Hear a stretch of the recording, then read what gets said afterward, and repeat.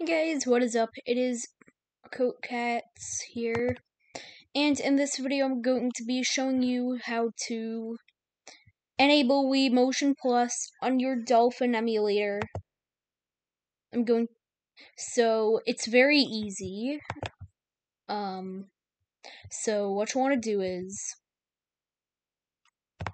open your File Explorer. You'll want to go to your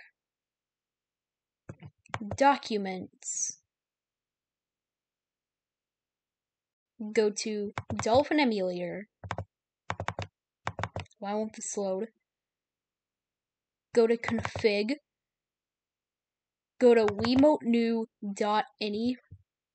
Go to source 2, space, and then control C, control V, motion plus connected equals true. Now, you guys might be wondering, where do I copy this? Well, it's easy. I'll post that and I'll do it, I'll show it in the description. So just highlight the highlight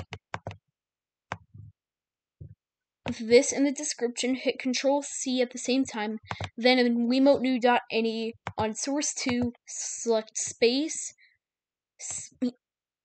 right, right here, go to space, Control V at the same time. When you're finished, select save, close. You can close your file explorer, and then um, Alright. Hold on a minute.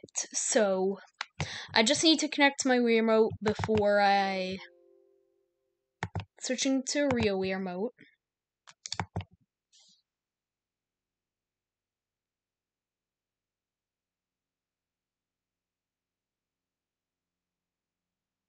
Guys, this may take a while.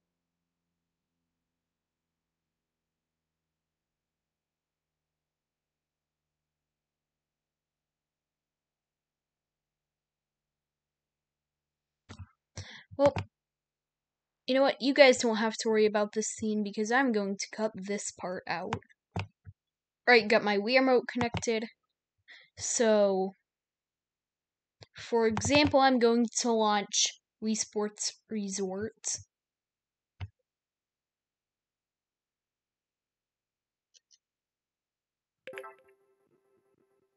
I hope you guys can see it.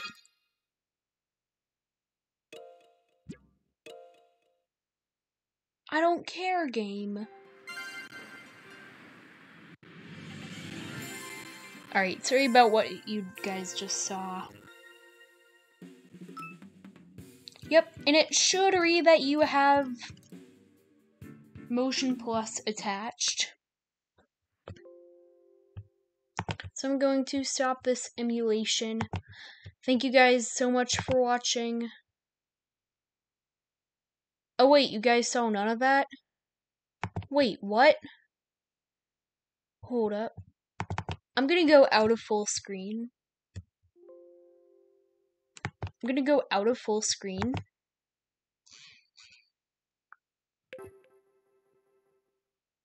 And then I can show you.